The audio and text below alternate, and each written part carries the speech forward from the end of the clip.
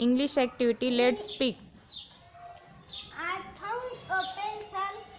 Akshara, it is yours. No, it's not mine. Adarsh, is this pencil yours? No, it's not mine. Krishna, is this pencil yours? Yes, it's mine. Thank you, Vishwanath.